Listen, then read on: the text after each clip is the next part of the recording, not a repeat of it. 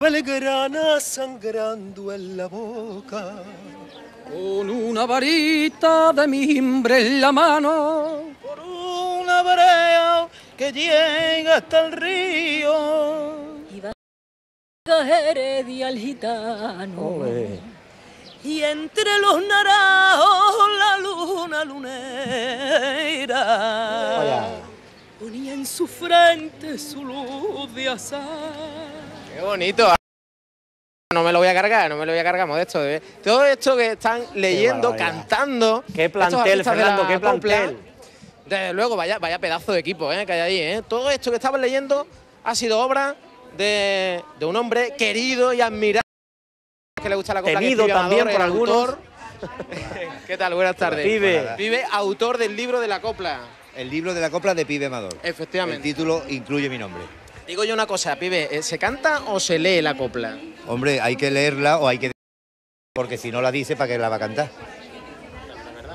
Pero hay que, eh, o sea, uno puede descubrir buena copla solo leyéndola, no solo escuchándola. En algunos casos sí. Cuando la copla es realmente buena, por supuesto, solo leída.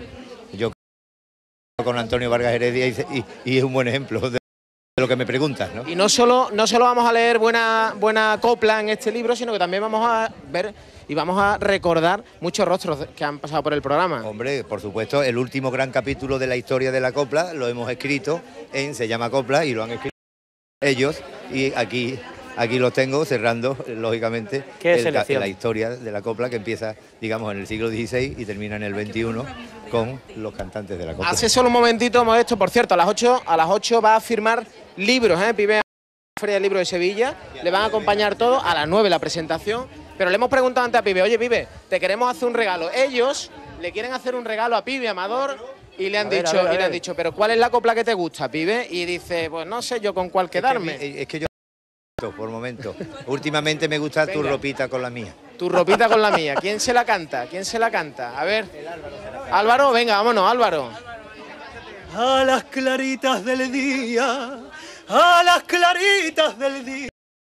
Tu ropa a los cuatro vientos, meciéndose con la mía. ¡Ole! En qué directo bonito, desde mira la cantidad de Sevilla gente que hay aquí, hombre, aplaudan a ustedes, aplaudan Córdoba, ustedes, claro donde sí. estamos siendo testigos a esta hora de esta